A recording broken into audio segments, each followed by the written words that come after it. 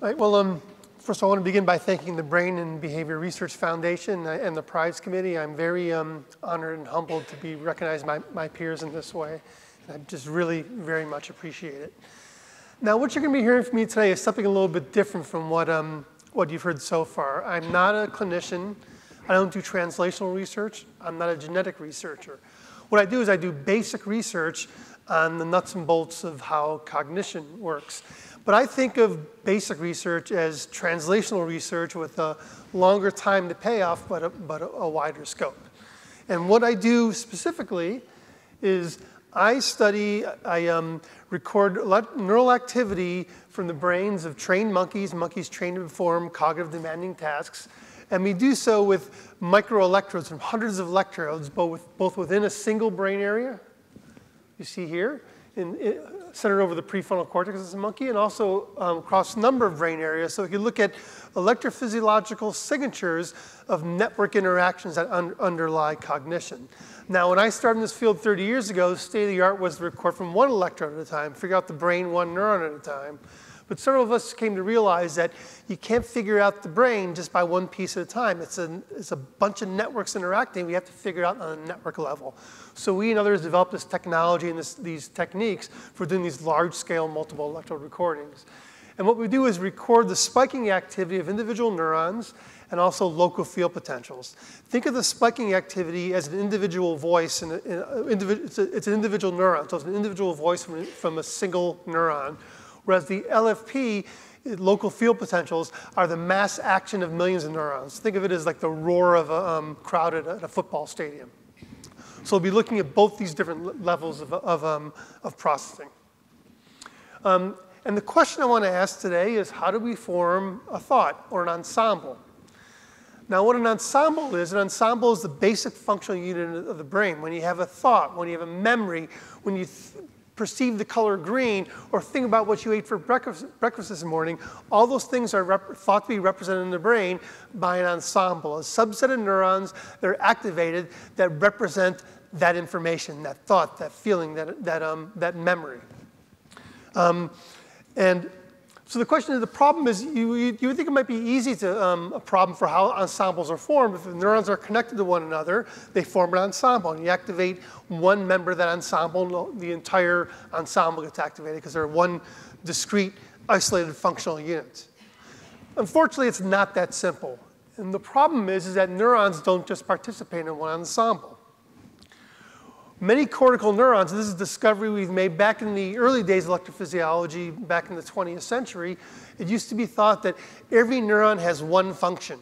And if you figure out what the function of that neuron is, you can figure, and figure out the rest of them, you'll figure out the whole brain, one, by one neuron at a time. But it's become increasingly clear to us over the past 20 years that many neurons in, in the brain are multitaskers. They have what uh, my colleague Stefano Fusi called mixed selectivity. That is, an individual neuron doesn't just signal one message, it, it, can participate in a variety of functions and participate, send out a variety of messages depending on the context of which other neurons are currently being activated. In other words, the way to think about it is that um, individual neurons participate in many different overlapping ensembles. Now, the reason why this mixed selectivity is important is because they provide computational horsepower to the brain. What they do is these neurons that, have, that are multifunctional provide a high dimensional representational space that allows more possible separations between different types of representations. It allows more complexity and allows greater capacity. In other words, without these um, multifunction mixed selectivity neurons, you would have a very dumb brain. This has been shown in, in computational simulation. You could throw a million neurons at a, a uh, million units at a computational model of, of, of, the brain, and they don't make any difference. The brain can, a simple model with every neuron just doing one job, can only learn a few simple things, and it quickly runs out of capacity. What mixed selectivity does is allows the brain to represent more complicated things, and also it essentially becomes capacity unlimited because the, the neurons can participate in many, many different thoughts and functions. So the problem with um, defining, figuring out how the brain forms ensembles, how it forms thoughts, is that we have ensembles um, on top of ensembles, on top of ensembles, on top of ensembles, with individual neurons participating in many different ensembles. Now, we know this from studying the, um, the prefrontal cortex, which is my main area of interest, we know that the bulk of the neurons there are these mixed selectivity, multifunction neurons. But is that just special about the prefrontal cortex? What about other areas of the cortex? Is it a property of cortex in general? Well, to address this kind of question, Markus Siegel in my laboratory trained monkeys to categorize the direction of motion or the color of some colored moving dots. The dots could be moving up or down, or they, or they could be red or green. And we simply taught the monkeys on different trials to either tell us what the color, direction of motion is or tell us what the color is. And what Markus did is a pretty heroic experiment. He recorded from 108 simultaneous electrodes acutely implanted in different cortical areas in, in, in the monkey's brain. The cortical areas um, illustrated here. We have uh, uh, areas in the prefrontal cortex, the frontal eye fields, LIP in the parietal cortex, and then these more traditional visual sensory areas, MT, V4, V4 and IT. And he did these experiments by, by introducing these electrodes by hand, 108 of them, for every single experiment each day. They were heroic, heroically difficult experiments. And what we want to know is the traditional view of cortical function is that the, the cortex is a patchwork of specialized modules. There's a motion area that processes motion. There's a color area processing color. There may be some face areas, or even said to be a theory of mind area. So is it true that the cortex is this patchwork of different functional modules? Well, there's many things you look at in this kind of data set because it's such a recording from all these neurons, hundreds of neurons simultaneously. This is one, one of the um, simplest ways I can show you what we found. And what's, what's plotted here is in each of the brain areas we recorded from, shown on the x-axis in each of these uh, um, diagrams, um, there's the brain areas, and on the y-axis is the number of neurons in each area that process information about um, the direction of motion of the dots, the color of the dots, which cue we, we, we had to teach the monkey if it saw one cue, it meant pay attention to color, another cue, pay attention to motion, which cue the animal saw um, or which task the monkey was involved in, or which choice the monkey made. The monkey made a choice by moving its eye. Now, what you see here is that, first of all, we have the, the, the um, anterior parts of the brain on, on, the left of each graph and the posterior parts of the brain on the right of each graph. And shown here is grouped here the bottom up or so-called sensory information. And here's top down or information about the, the, animal's behavioral choice, information about the task, the, the knowledge the animal has about what it's, what it's doing. Now what you see here is there's a, there's a somewhat of division in the brain in that the back parts of the brain, the more sensory parts of the brain, have more neurons, more information about sensory information, about the cue, about motion, about color. And the front parts of the brain, the prefrontal cortex and uh, um, uh, frontal eye fields and parietal cortex to some extent, has more information about top down, what the animal's task the monkey is doing and what choice it's about to make. But the bigger picture here is that all these different brain areas all have some information about all aspects of the task. The, in fact, even the traditional V4 is the traditional color area, but it has plenty of information about direction of motion, for example. Now, I don't want to give you the, so this suggests that this mixed selectivity, this, this multitasking neurons is true across the cortex at large, and not just a special property of, of, of the prefrontal cortex. Now, I don't want to give you the impression that, that the whole cortex is all the same, like in sort of Karl Lashley kind of equipotential um, view of the cortex. These information starts, we can trace the, the flow of this information by looking at neural um, dynamics and neural latency. And we can see that diff different types of information start in different parts of the cortex, but by about 200 milliseconds after, after the information starts, it's all over the cortex. And this Mixed selectivity, so different cortical areas emphasize different aspects of the task, but task information was widely distributed, intermingled across the cortex. In other words, there was uh, this, and this, this mixing was also on the level of individual neurons, meaning that mixed selectivity is pretty much the rule across the entire cortex. So having said that, this brings us back to this problem. If all these ensembles are overlapping, how do we select one ensemble without, if it, if it was just anatomy, then if you select, if you activate one ensemble, then the activity will run to a whole bunch of other ensembles, and pretty soon you have a collision of jumbled thoughts in your head. So how does the brain pull one ensemble out?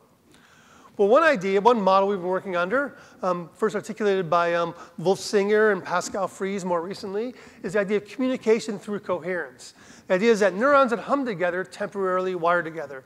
Your brain is constantly oscillating anywhere from one time a second to 100 times a second or more. These are the brain waves you hear about. And what the brain waves are is the mass action of millions of neurons all activating and deactivating at the same time. And the idea of communication through, through coherence is that let's say you have two neurons.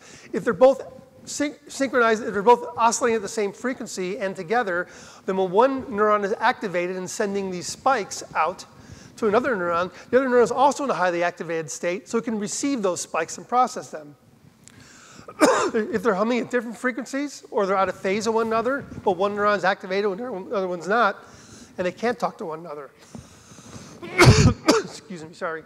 So the idea is that by having synchronized oscillations in the brain, you could dynamically form networks. You can, you, the neurons that, so in this case here, we have a, two overlapping ensembles, and the pink ensemble neurons are all oscillating together, and the purple ensemble neurons are oscillating together, but oscillating separately from the pink ensemble neurons. So having these neurons go into these synchronized rhythms is a way of putting together an ensemble quickly on the fly and pulling it out from the underlying anatomy.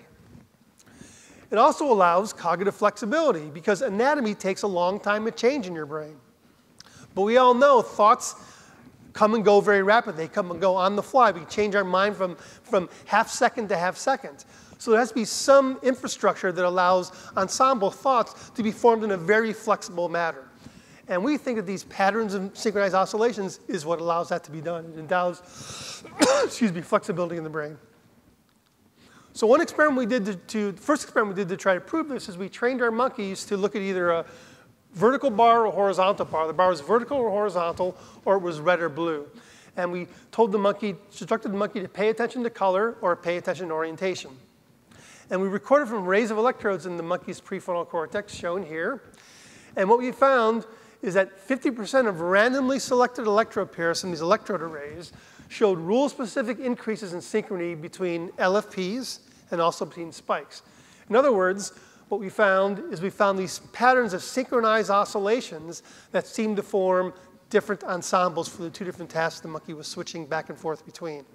And what this shows here is the monkey's prefrontal cortex, the arcuate sulcus, which is right here in the, in the monkey brain. It's here, and here's the principal sulcus right here. And each of these circles is a recording site where we inserted an electrode. And the colored lines indicates pairs of reco recording sites that oscillated together in, in beta band about 25 hertz. They synchronize their oscillations. And this is for when the monkey was performing the color task, and here's when the monkey was performing the orientation task. Pay attention to color versus pay attention to orientation. And what you see is just what we expected from this ensembles lying on top of ensembles, is that we see a lot of overlap in these two patterns of um, synchronized uh, oscillations, but they're two unique, there's overlap, but there's two unique patterns. The, you get two unique patterns of oscillatory resonance in the prefrontal cortex, as if these rhythms are forming the two ensembles. Now, these, aren't, these weren't just isolated um, pairs of recording sites showing, showing, these oscillations. If you look across them all simultaneously, this is a network topology uh, um, representation showing that these networks are highly interconnected um, with one another. It's, it's, whole networks oscillating together in a, in a different pattern, which is just what we'd expect if these oscillations are in fact forming um, ensembles. Now, since then, we've, we've been looking for this phenomenon in a variety of different studies, and we're finding it everywhere. So one example here is uh, just recently, we found the same rhythm, beta rhythm, about 25 hertz. You see patterns of, of uh, synchronized 25 hertz oscillations forming between the prefrontal cortex and parietal cortex, so across brain areas, when the monkey's making decisions about the spatial location of a stimulus. And um, Another example, we taught monkeys to categorize um, different shapes as either being a cat or being a dog, and we found rhythmic ensembles, much like we, I showed you here, forming for, the, for these, uh, these category decisions. In fact, this paper was just got an email. This paper is now in press in cerebral cortex. Just got an email this morning. Um, so, if, what, if, you, if you're taking to heart what I'm saying and, and, you, and you're saying, okay, rhythm, these beta rhythms, these about 25 to 30 hertz rhythms, they these patterns of rhythms form ensembles in the brain. One thing you may ask is, well, if that's the case, how is it I can hold two thoughts in mind simultaneously without their rhythms all becoming synchronized with one another and jumbling the thoughts together into a big mess? Well, one idea is that the brain may oscillate these ensembles in and out of phase of one another, like your brain's doing a, ju a juggling act. So there's these patterns of um, synchronized oscillations forming the ensembles, both in about the 25 to 30 hertz range. So to keep your, to your brain, to keep them from smushing together, your brain does a juggling act. It, it oscillates them at 25 hertz, but out of phase of one another, so they don't interfere with one another. So we sought to test this, and this is represented here. Here's our um, local field potential oscillating, the roar of the crowd oscillating about 25, 30 hertz, and individual spikes. The idea is they line up on different waves, uh, different parts of this, of this um, local field potential wave for the two different thoughts you're holding in mind. So the way we um, tested this is by training monkeys to remember two pictures and the order in which they appeared. So in this case, the monkey is fixating a small spot of light, staring at the small spot of light. Then we present one picture, which I believe this is an avocado. And then, no, that's a lemon, I think. Um, it's something, it doesn't matter what it is. They're pictures from the internet. We showed the monkey a picture, and then another picture, and then a, then a delay, and then another picture. Then after another delay, three pictures came up simultaneously, and the monkey's job was to look at the two pictures you saw just a couple seconds before, but look at them in the order in which we presented them. So in this case, look at the lemon first, then the avocado, because you saw the lemon first and the avocado.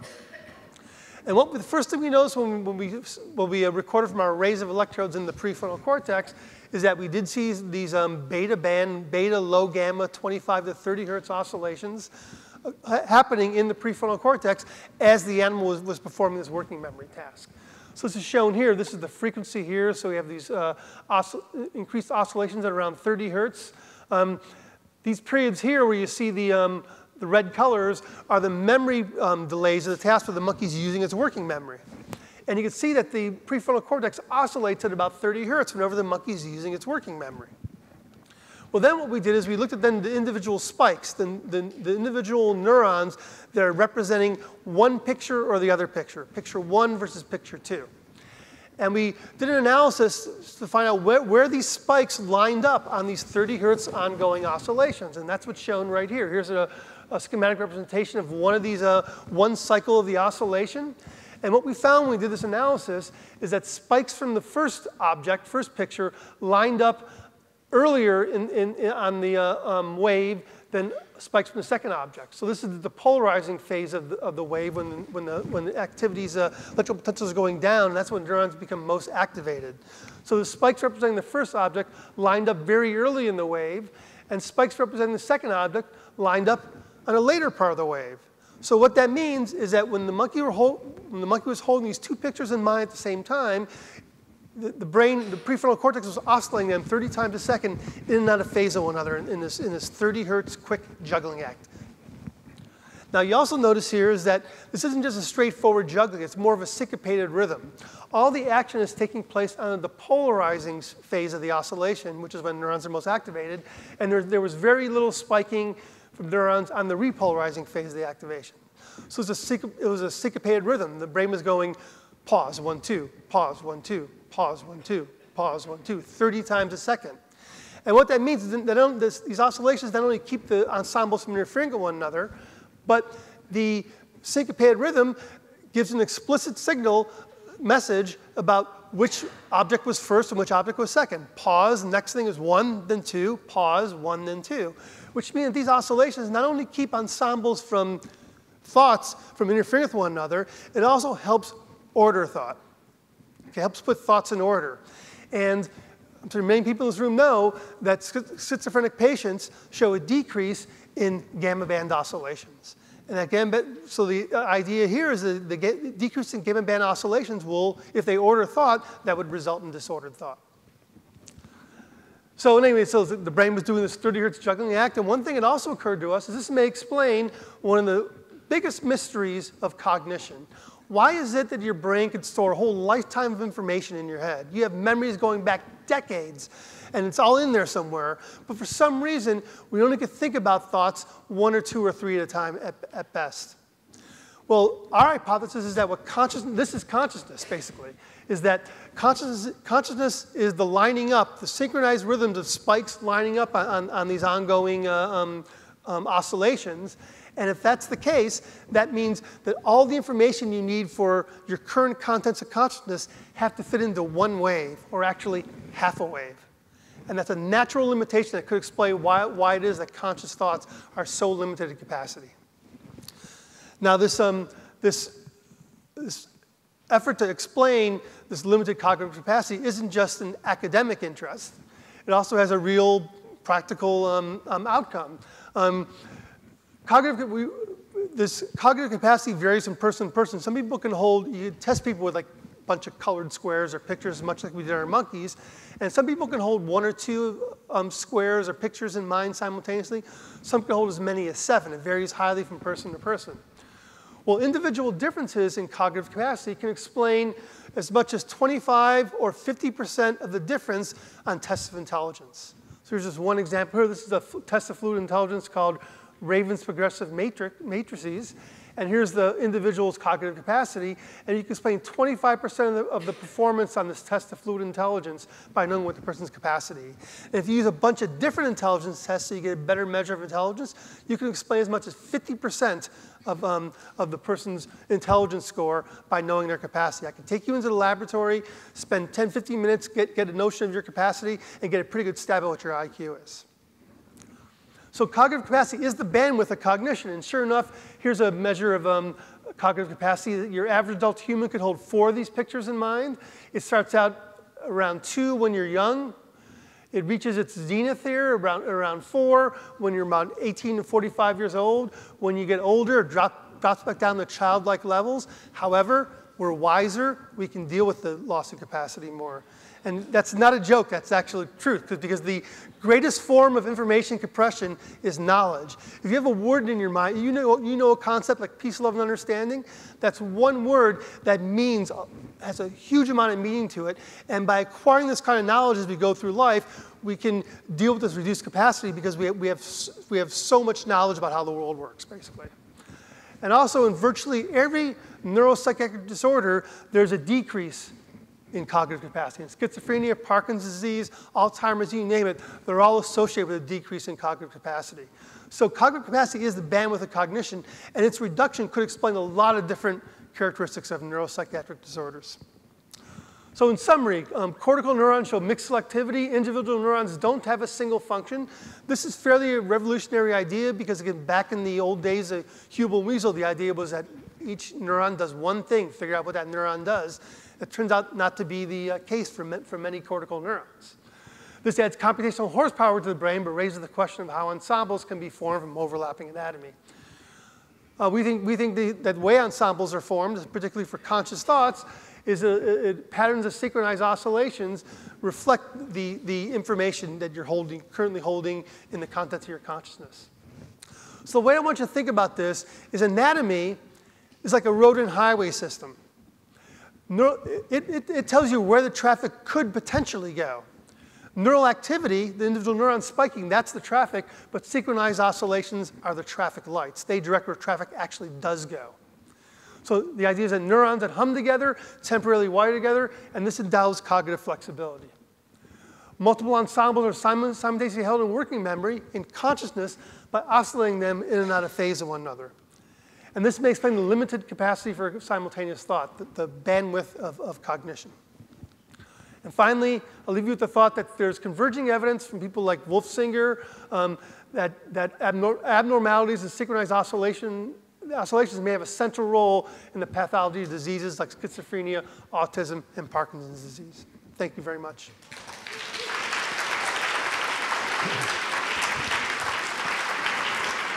You know, John, you didn't make me feel very good when you sure. showed that slide what happens to people over 65. But you're wise, though. you're, a, you're a wise man. But I can't, I have no capacity left. But you deal with the capacity better because you're so wise. Oh, jeez, this guy. I'm not making that up. That's, that's, a real thing. Yeah. Uh, well, I actually, if you would send my mother an email explaining that to her, she'd. Uh, okay, send me your address.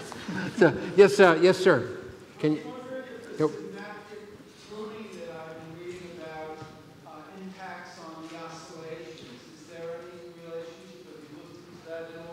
We haven't looked into it, but it must Repeat because. the question. Oh, if he- if he did the synaptic pruning have any effect on these, these oscillatory patterns?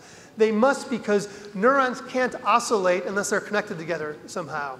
So again, the, that's the highway system. Traffic can only go where the roads are.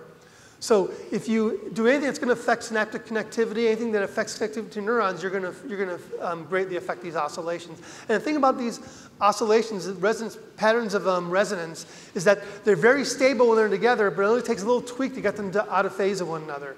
So a little change can make a huge difference. You have a question over here? Jay. Hi. um, Uh, Multitasking can lead to mental retardation, uh, loss of uh, memory.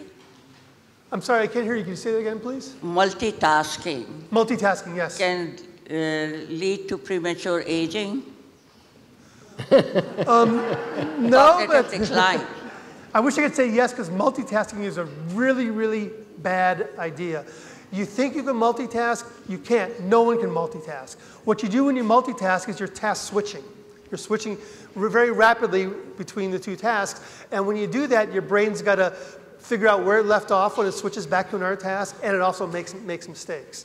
Your brain deludes itself into thinking it can multitask because your brain craves information. We, we, our brains evolved in an environment where there was very little information. And a rustling in the bushes might mean a tiger is about to leap out. So it was, it was adapted for your brain to crave information. And also because of this limited information environment we evolved in, we developed this capacity or we developed this limited capacity because a lar- larger capacity wasn't needed.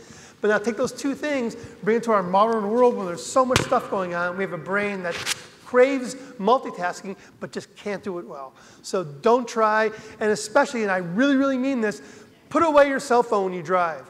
Even having a conversation on the phone with a headless, um, hands-free um, um, device will cause you to miss as much as 50% of the things on the road in front of you. Studies have shown this.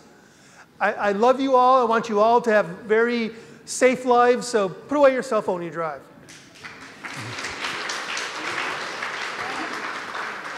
Are there, um, excuse me, can you say, uh, over here, other So where are side? Oh, Yes. there. Over here? Yeah, hi. So if, if multitasking is, is, um, and trying to be efficient is not good, are there ways to um, enhance uh, cognitive capacity in, in people for, through different age spans and people that may have compromised ability, say through technology, through software, through drill, problem solving? Are there exercises like that that can be um, uh, effective intervention? I wish I could say yes, but you know these brain games you're hearing about? They don't really work. What you do is you get much better at playing the game, but there's almost no translation in- into, into real world cognition. Um, and people have tried to increase cognitive capacity for this very reason, because it really is the bandwidth of cognition. And there's, you can increase it a little bit, usually in the context of a task, but there's no real world benefit. What we're working on is working on ways in which you can play with these waves and maybe increase capacity. We want, of course, to try to do this with non-invasive brain stimulation, like TACS, where you put electrodes on your scalp.